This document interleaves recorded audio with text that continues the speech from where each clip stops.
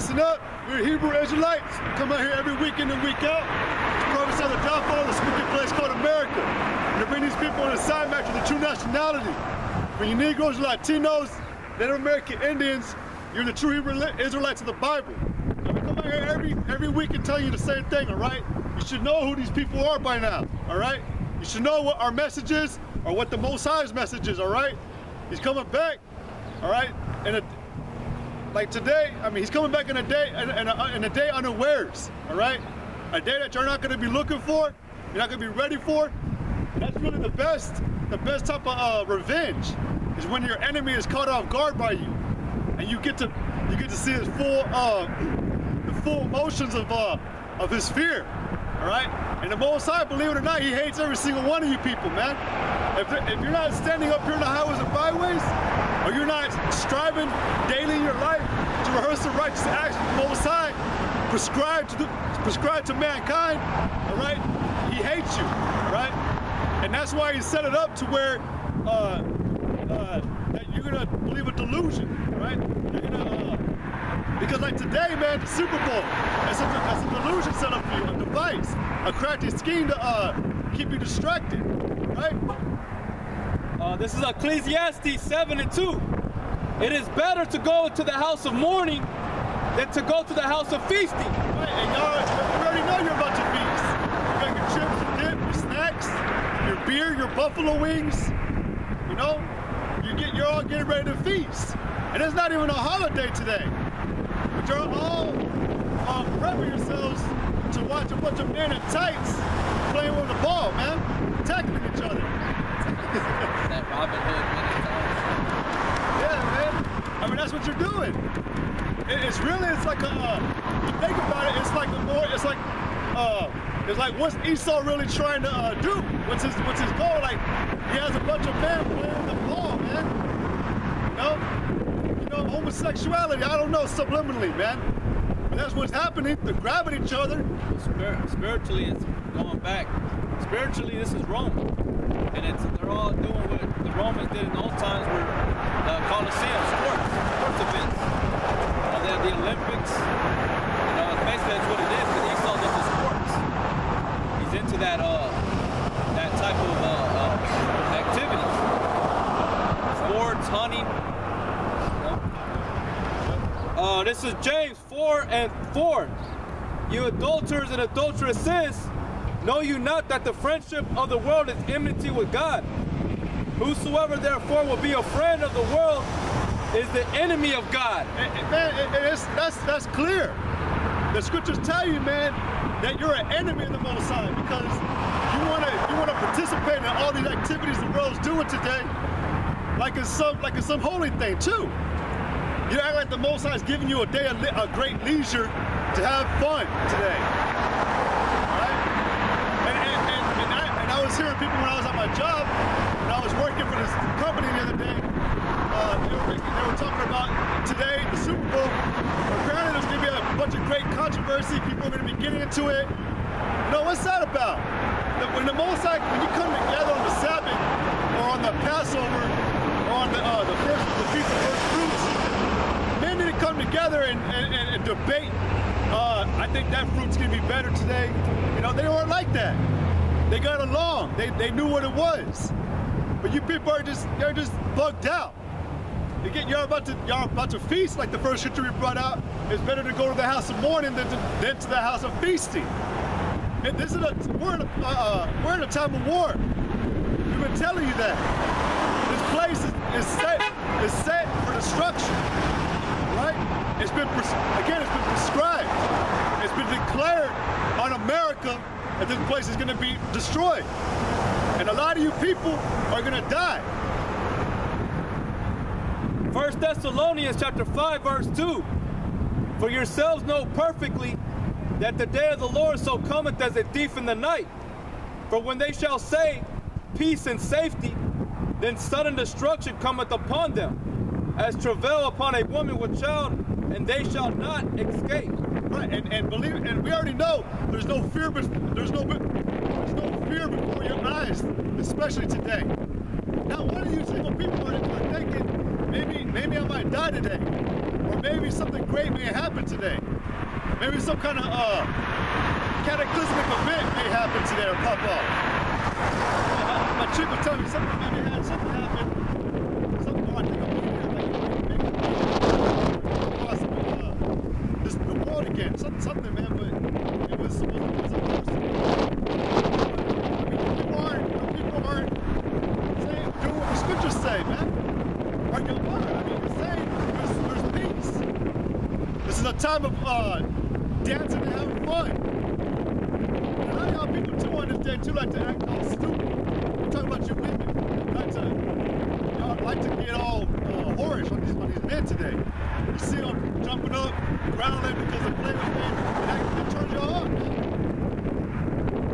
There's gonna be a there's gonna be a major shift, a major mind change in all of you people, man. Y'all least expect it. It's sudden. Then, like I said, then sudden destruction shall fall upon you, man. This, this place, man, is so close. We, we told you, me and this brother in particular, was was speaking to the city, San Angelonians. We've been telling you for about five years now, man.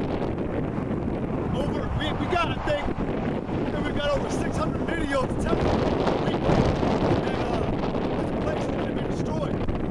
And San Angelo, you, you got a, a great judgment coming upon you. There's no coincidence, man, because this place is starting to get, uh, starting to be noticed a lot.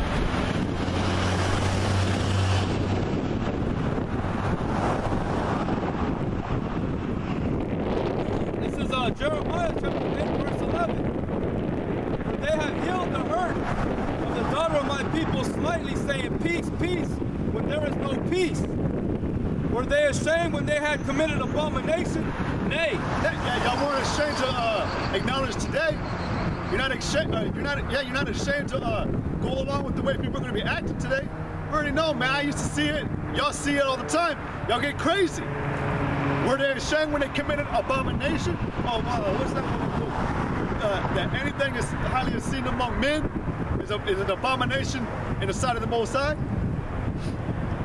And it says that they have healed thee slightly. Who, who's that? Well, basically, uh, today, this day, is spread out from the so-called white man. Like the brothers got done saying. The so-called white man is into sporting. It tells you that in the scriptures he likes to sport things. He likes to uh, try out or try them out, see how far he can push it. And that's like one of the, one of the things he's doing today. He knows he's got you. He, so-called white man knows he has you people, man. It's, it's no it's no new thing anymore. But uh, like, it- but the- like the scripture said, man, they're the ones who told you that stuff.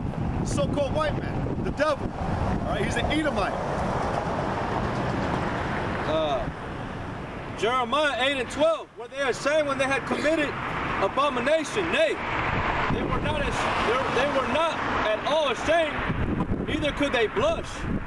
Therefore shall they fall among them that fall. In the time of their visitation of the in the time of their visitation they shall cast down, saith the Lord. Right, and the day of their visit, and the day of your visitation, and it's right around the corner, man. It's right around the corner. Believe it or not, it's, when, to y'all people all the time, is right there around the corner, man. We, I mean, we've already been getting the signs. All right, we've been having all these, all these deaths, all these unrighteous deaths. All right, people killing, or Esau killing reason. You've been having the wars. You've been having the, uh, the signs for the constellation, the stars. All right, but it's, it's it's getting to where it's gonna finally just that's it. All right, we're not where it says that we're not gonna be out here preaching anymore. Y'all gonna start seeking us. You're gonna start seeking the, the right way, and it's gonna be too late because you didn't want it. You didn't want it. You didn't want to submit yourself. Like the Most High said that you have profaned His ways. It was always about what the Most High wanted, not what you wanted. Jeremiah 8 and 13. I will surely consume them, saith the Lord. There shall be no grapes on the vine, nor figs on the fig tree, and the leaf shall fade, and the things that I have given them shall pass away from them. Why do we sit why do we sit still? Assemble yourselves and let us enter into the fenced cities, and let us be silent there. For the Lord our God hath put us to silence, and given us water of gall to drink. Because we have sinned against the Lord. Yep, because you have sinned against the Lord, man. Because everything the brother was reading, you, you kept on doing. And it's, he said, but the, the beautiful part, he says, I will surely consume thee. Not one of you can, den- not one of y'all could, will be able to deny in that day that what we were telling you was a lie, or what the scriptures were telling you was a lie. We looked for peace, but no good came. And for a time of health, and behold, trouble. And behold trouble. In a time of help, behold trouble. When you were calling for help, you were getting nothing but evil. Where's that one? That's the time of Jacob's uh, trouble. That's what's about to come. You know, upon you Negro, Latinos, and Native American Indians, all hell's about to break loose upon you. You know? That's who Esau primarily is having a lot of trouble with here in, in his uh, city. And he's about to uh, like uh, implement martial law, like we've always been saying for years and years and years, starting with the elders. We're gonna continue to say it and say it because anytime a city was ransacked, taken over, a, a, a, military force came in. And the scriptures say that all these things were written for our learning. You go back to the time of uh, Antiochus Epiphanes, uh, the bad one. It shows you that he he he, he had uh, he intruded into the land of Israel, man, and, and destroyed them. You know, and, and, and made them leave away, uh, cast away their customs, their traditions. History always repeats itself.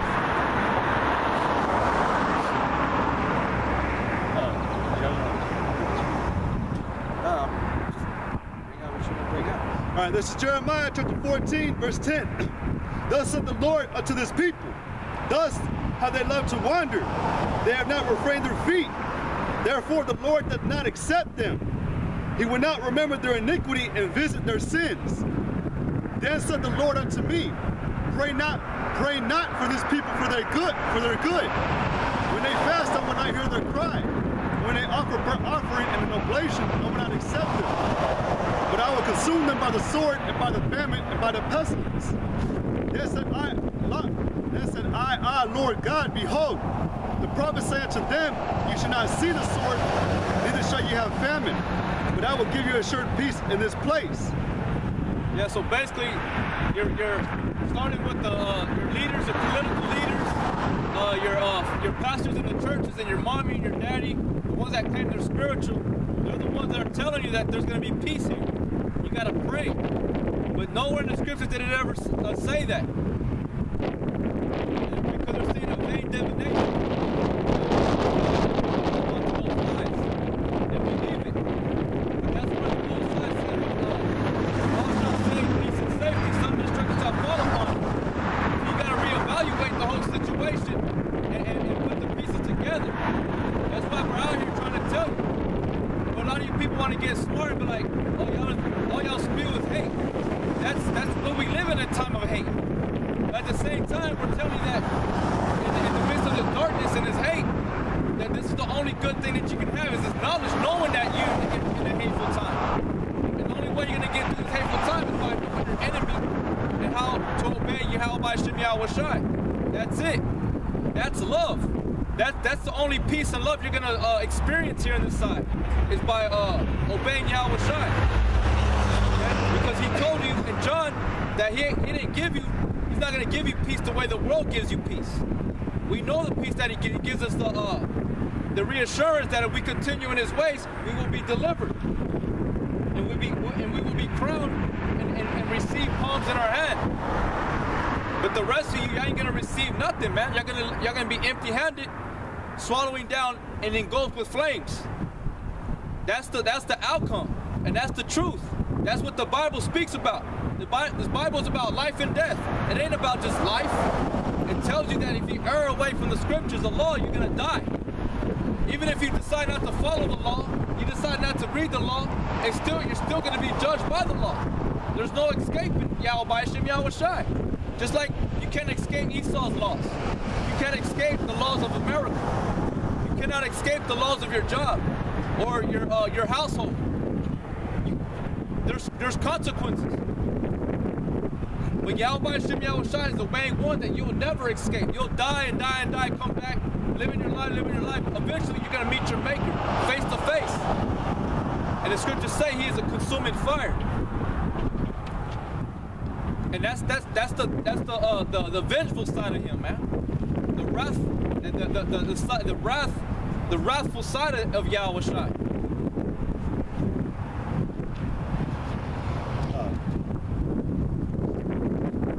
Let me get this first. Uh, this is Jeremiah chapter 30, uh, verse 4. And these are the words that the Lord spake concerning Israel and concerning Judah. For thus saith the Lord, we have heard a voice of trembling, of fear, and not of peace. And who's that coming from? That's coming from the, the men, the elect men on the highways and the byways. Like the elders say, this truth is un- unadulterated with no glitter or glamour. Truth. Okay? It's, it's, it's, the, it's the truth, it's raw. Ask ye now and, and see whether a man do travail with child. Wherefore do I see every man with his hands on his loins as a woman travail, and all faces are turned into paleness. Alas, for that day is great, so that none is like it. It is even the time of Jacob's trouble, but he shall be saved out of it. For it shall come to pass in that day, saith the Lord of hosts, that I will break his yoke from off, from off thy neck. I will burst thy bonds, and strangers shall no more serve themselves of him. But before the Lord saves the, the elect, Jacob, there's going to be a time of Jacob's trouble. That's the time we're approaching, we're in right now. Yeah, I mean, same thing. Yeah, I mean, you were speaking. Yeah, but- yeah, everything the brother's talking about, like the brother said, you can't, uh, you can't, you cannot escape the judgment. Okay, there's no escaping what's coming. Like the brother said brief, uh, a while ago, you you you may die, you may or you may prosper this time, man. But if- listen, if- even that too. If you if you prosper this time, because this this is a t- this is this now is the time, man. We're, we're for sure. The scriptures say that this generation shall not pass until all things be fulfilled. And he said, This is a time where you're going to catch your judgment. You've been living all these previous lives, coming back and back and doing everything that you were doing. But You're going to be recompensed in this time. You're going to get your perfect judgment in this time. And part of it consists of, I mean, you're going to get messed up in all that, in all that hell that's coming with martial law and shit. If you make it to the end when the, the, uh, the missiles come, you're going to have to endure that. You know, there- there's just so much that you have to pay for. You know, I I know there's a scripture where uh, the Most High talks, well, he talks about how he reserves the wicked for that very great day. But he has them to come back, and he allows it to where you keep on uh, keeping sin upon sin, but just because you're just gonna have that much of a greater judgment. And a lot of y'all people, believe it or not, man, and you little kids, you women, you old people, you got an incredible judgment just right there on the top of your head. The death angels is chilling above all of y'all. That scripture where it says who can escape the hand of the Lord or the judgment of the Lord? None can escape out of the hand. Try to find it. Yeah, if you can. Uh, this is Nahum, uh, chapter 1, verse 2. God is jealous and the Lord revengeth. The Lord revengeth and is furious. The Lord will take vengeance on his adversaries. And he reserveth wrath for his enemies. The Lord is slow to anger and great in power. He will not at all quit the wicked. The Lord hath his way in the whirlwind, and in the storm the clouds are the dust of his feet. I'm gonna jump down to verse 6. Who can stand before his indignation? Who can abide in the fierceness of his anger? His fury is poured out like fire, and the rocks are thrown down by him. The Lord is good and a stronghold in the day of trouble, and he knoweth them that trust in him. But with an overrunning flood, he will make an utter end of the place thereof, and darkness shall pursue his enemies. So that's that that that's the uh that's what's coming. That's what's coming, not peace. Like we keep telling you, we're not in a time of peace. We're not in a time to uh to settle down here, to uh, com- find comfort here.